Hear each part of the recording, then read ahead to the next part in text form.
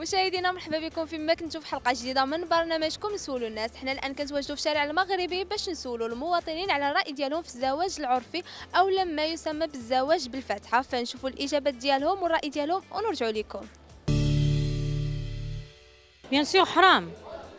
حرام. فاتحة. شنو الفاتحة. أي اليوم ولا غدا يخليها ويمشي. يدير مع الدراري ويهرب.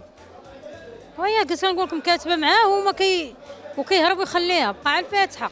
تقريبا آه، مكروه ماشي حرام. لا خصو يدير العقد. آه، هو هو مزيان كاع. دابا الزواج بالفاتحة ما بقاش ياكل هذا الوقت. لأن كان بكري الزواج بالفاتحة كانت النيه كانت يديروا حساب العائلة هذا هذا عائلة هذا وعائلة هذا ياك. دابا ما يمكنش. دابا وليتي دابا الزواج بلا بلا فاتحة وفي الله الزواج العرفي. هي الصراحه حرام. حيت ما كتكونش اتفاق الطرفين. اتفاق اتفاق الأهل. خص يكون اتفاق أهل بين أهل الزوج واهل الزوج أهل الزوجة. خص يكون اتفاق بيناتهم. ما يكونش اتفاق كتكون ما مكمولش. وما كيكونش راضي عليه الله سبحانه وتعالى. أزواج في باكستان آه، ضروري فاتحة زفاف آه، وشهود آه، ويمكن في المغرب آه، بحال بحال أيضا. حرام أختي. في المغرب حرام. هو الصراحه الفاتحه راه هي كلشي. إلا ما كانش فاتحه راه ما كاينش الزواج وراه حيت شي حاجة اللي كانوا كيديروا الناس قدام راه ما- تقريبا تقدر تكون حلال وتقدر تكون حرام. ما كاينش شي حديث ولا شي حاجة كيقول لك أن الفاتحة هي كلشي. الزواج بالنية. واخا بالفتحة دايز. كيولدوا دراري إلى آخره ولكن في هذا العصر خص ولازم يكون الكاغط.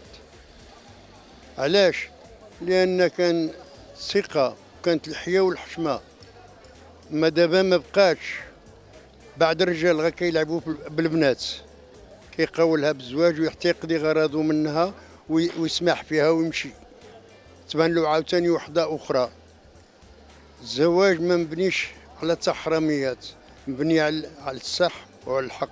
آه قلت لك بلا فاتحه بالقانون وبهذا بالقانون وبالمسائل ديالو وفي يد الله. داك الشيء بحال كيف تيقولوا لقيتي واحد الدلاحة تتشريها حمراء ولا خضراء ولا شرا شوف كيفاش غتخرج؟ بالحلال بطريقه قانونية. ويا ترى يصدقوا يا ترى. المهم قانونية ولدوا وليداتهم بالخير وعلى خير. ومسطره غدا كوك نهار يتفرقوا بخير وعلى خير. وضروري الزواج يكون قانوني. إلا ما كانش قانوني داكشي تاع داكشي ما منوش. غير بحال تلاقيتي مع شي واحد عشران ودوزتي واحد الفترة هو مشى وهي مشات. مازال قانوني شوية كتبقى. ربما العائلة تدخل ربما هذه ربما حتى كترجع الأمور. إلا بغى الله إلا ما بغاش الله مع الإنسان ما يدير. اذا مشاهدينا كما شفتوا معنا أغلبية المواطنين ما كيوافقوش على الزواج العرفي أو الزواج بالفاتحه لأن كيعتبروه فقط مغامرة وكيخالف القانون.